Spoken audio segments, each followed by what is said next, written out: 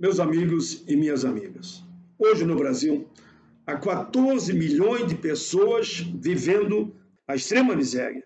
É o quinto ano de aumento de miséria. Cálculos da Fundação Getúlio Vargas mostram que a extrema pobreza atingiu mais 4,4 milhões de crianças no nosso país. 11,5% dos jovens de 0 a 13 anos vive com renda domiciliar inferior a 150 reais por dia. Os pesquisadores dizem que o número de crianças pobres pode ficar ainda pior com a pandemia do Covid-19, que tende a empurrar mais famílias para a pobreza, sobretudo sem uma extensão do auxílio emergencial, que eu entendo que tem que ir até o fim do ano. Esse benefício tem ajudado a compensar a queda da renda do trabalhador, principalmente os mais pobres. Mas ele é muito pouco. Precisa ser prolongado. Enquanto durar a calamidade pública e toda essa crise. Tem que chegar a 100 milhões de pessoas até o fim do ano. Ademais, há muitas reclamações de que o auxílio emergencial não está chegando com a devida rapidez e contemplando as milhões de pessoas. A pobreza extrema traz implicações seríssimas: fome, miséria, moradia inadequada, falta de acesso à água potável, problema de saúde, abandono do estudo e trabalho escravo, ou seja, trabalho infantil. Heloísa Oliveira, da Fundação Mário Souto Vidigal, que atua na primeira infância, faz o alerta.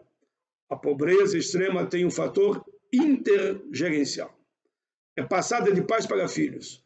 O adulto tem autonomia que possibilita sair da situação de pobreza, mas a criança, essa não tem. Ela tem maior dificuldade de lidar. Por isso, uma criança pobre tem mais probabilidade de chegar na fase adulta muito mais pobre ainda. O estudo da FGV mostra que os piores indicadores no Nordeste onde 21% das crianças vivem na miséria. É lá. Os menores percentuais estão nas regiões Sudeste, 6%, Centro-Oeste, 5% e Sul, 4%. Uma vergonha. Nas áreas rurais também há muita pobreza. Não tínhamos que ter essa pobreza em parte nenhuma do Brasil. Todo esse cenário está relacionado ao estrangulamento dos programas sociais, em especial a Bolsa Família e o desemprego nesses tempos. A Bolsa Família concede de R$ 89 a 205 reais por mês às famílias cadastradas. O valor, em média, corresponde a 191 reais por mês. Grávidas, lactantes e filhos de até 15 anos de idade recebem cada um o adicional de 41 reais, e o teto é 205. O governo cortou 158 mil bolsas em março, 61% para o Nordeste, Felizmente, o Supremo Tribunal Federal mandou suspender esses cortes enquanto durar a pandemia. Ponto, Supremo Tribunal. Temos que ter um olhar humanitário, generoso, solidário, fraterno.